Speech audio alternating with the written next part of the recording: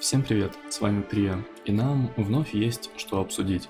Сегодняшней темой для обсуждения будут изменения интерфейса, а именно изменения интерфейса транспорта. Сейчас мы спокойно пролистываем всех маунтов, никаких дополнительных окон нет, есть только фильтры, полученные и неполученные, невозможно использовать, источники получения, ну а также при нажатии правой кнопки мышки на полосу с маунтом мы можем добавить его в избранное. А, ну и также, конечно, эту кнопку случайных избранных существ перетащить на панельку и призывать через нее всех избранных нами маунтов. Красивых, не очень, избранных, конечно же. Так вот, в 8.2 интерфейс преобразится таким образом, что мы сможем немножко кастомизировать наших маунтов.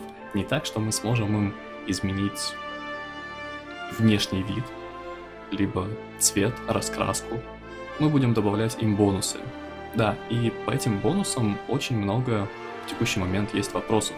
Если обратиться к этому скриншоту, то можно увидеть небольшое изменение интерфейса, а именно то, что появилась дополнительная кнопка, скажем так, в которую будет помещаться определенный бонус Mount Equipment. А в этот слот, в этот Equipment можно будет закинуть лишь только одну из трех пока что найденных в игре вещиц. Если же мы захотим изменить бонус, то старый будет уничтожен. Все аналогично, как и в ювелирных камнях. Первый бонус, предоставленный нам, это парашют, который срабатывает в тот момент, когда мы отменяем маунта, находясь в полете, скажем так. То есть мы прыгнули со скалы, отменили маунта, и теперь мы на парашюте.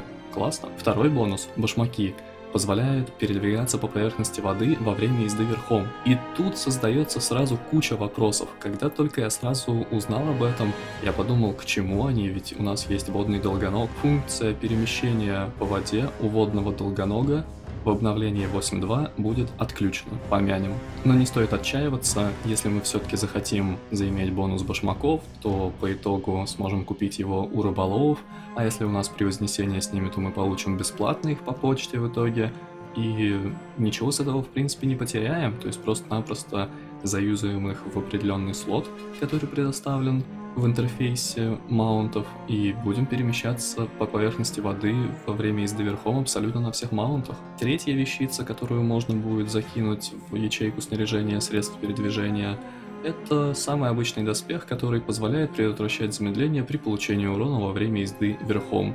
Знаете, это не особо полезно, расскажу лайфхак. Можно просто-напросто поворачиваться лицом к мобам во время того, когда они ударяют по вам, и по итогу полученный урон в лицо никак не спешит вас с маунта и, конечно же, не замедлит. Вот такая вот информация на сегодня. Надеюсь, что действительно полезная. Всех вам благ, счастья, здоровья. Не забудьте глянуть ссылочки, которые предложены в описании. Ну и, конечно, пишите в комментариях насчет нерфа водного долгонога. Это реально грустно и печально, по моему мнению. Увидимся на стримфесте. Берегите ноги.